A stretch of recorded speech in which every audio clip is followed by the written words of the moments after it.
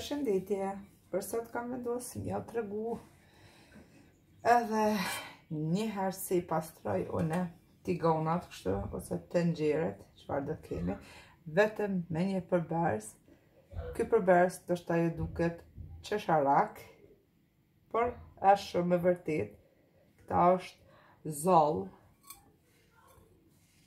Zoll që gjindet pra në park ku luajnë fëmijët muni me morrë edhe është shumë i mirë pra për pastrimin e tigonave, ose tenxhereve ose tepsijave. E hedhim kështu zollin. Edhe morrim një sungjer. Sungjeri duhet me qenë i lagë përpara me uj. Edhe filloj me pastrimin e tigonit. Pra filloj me pastrimin e tigonit.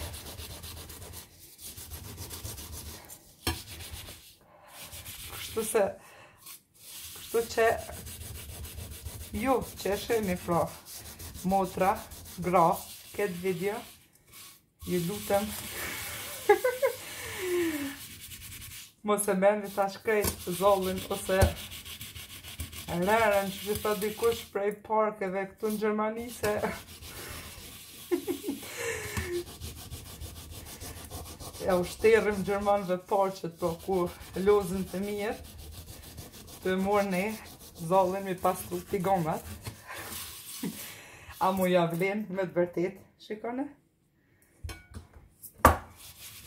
Ja vlen edhe pa u lodhë fare.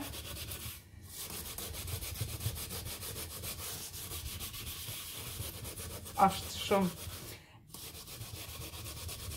efikas pra dhe largon Të gjithë këtu, këtë ngjyrën e zezë pra, që kapet për fundi tigonit ose tenxhereve, ose tepsijave. Shikoni.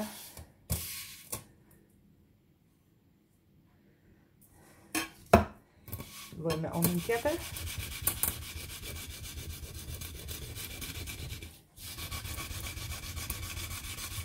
Ja vlen me provu, pra, ni me, po e shifni edhe vetë. Sepse në shumicën e videove kam pa që shumë kanë shënu a ka efekt, ka efekt unë nuk postoj receta të cilat nuk kanë efekt por duhet me provu për me pas efektin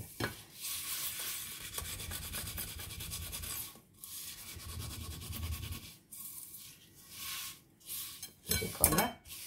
Po shihni edhe vetë. Si ka qenë. Si bëhet.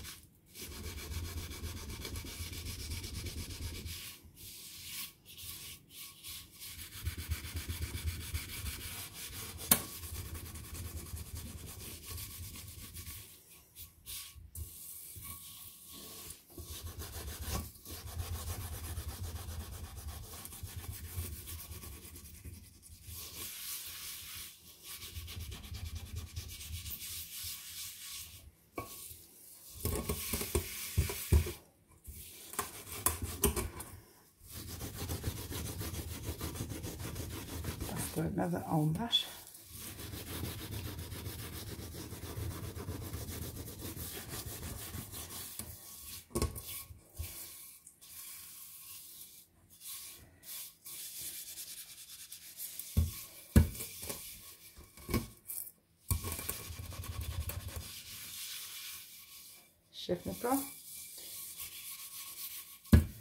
Se largohet ngjyra e zezë. Pra, po shifet. Edhe në video. Vetëm e kam shpërlau me ujë të ngrohtë. Edhe kështu duket tigani mandej, pra krejt të zit që ka qenë nën, ju ka hek. E provoni edhe vet, edhe bindeni, vetëm me zall, ose rërë që i thojnë, me atë edhe me një tel të kuzhinës, zalli normal, Kështu duket normal. Vetëm me këtë përbërës, pra, mundeni me qitë në një plastikë si kjo, edhe me lën në kuzhinë për ta marrë herët. Ky ishte rezultati, pra, i tiganit, i pastruar, pra, me anën e zallit si dhe një